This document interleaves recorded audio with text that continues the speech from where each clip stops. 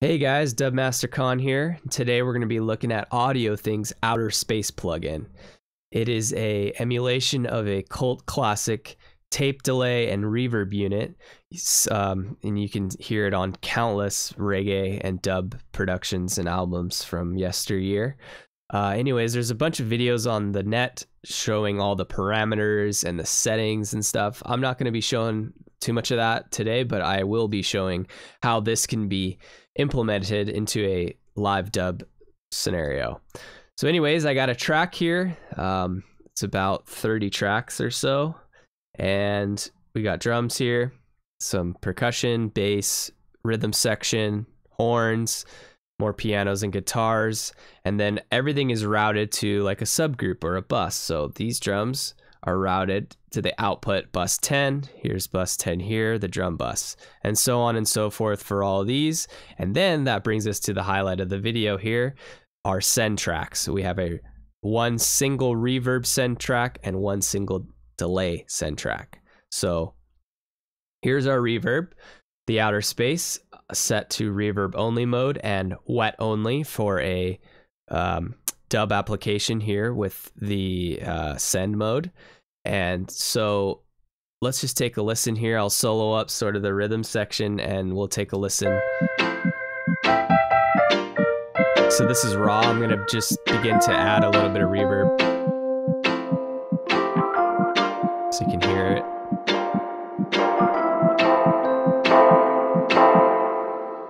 Such a rich sound.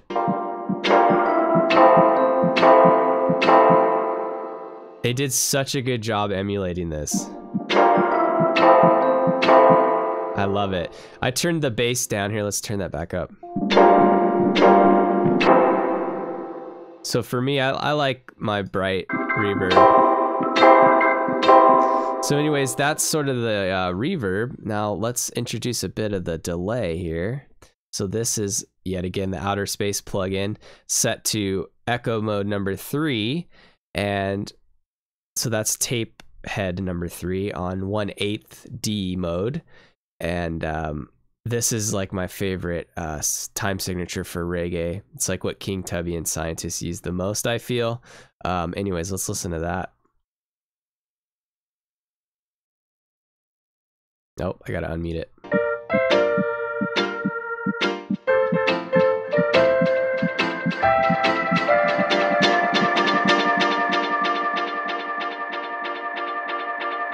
Man, I just love that.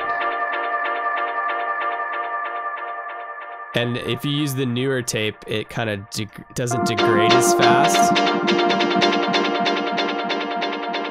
See, it kind of stays the same for longer, but if you switch it to the old mode, it's a little less top end and it just degrades and kind of... It's just more gritty. I don't know how to explain it. It's just more like analog and old sounding.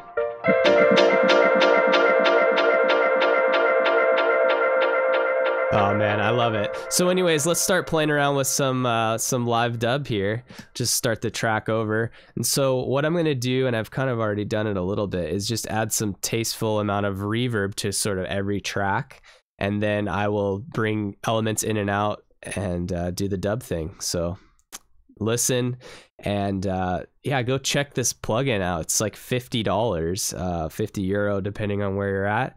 And you can find it at audiothing.net so here we go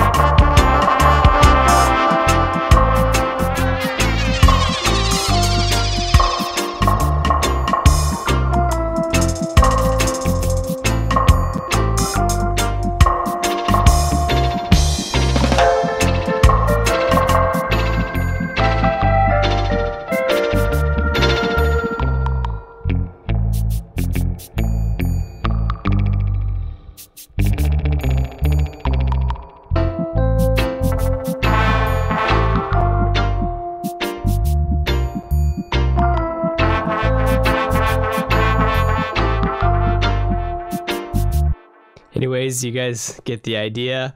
Um, I hope you've enjoyed this video. Go check out Outer Space at audiothing.net. Peace.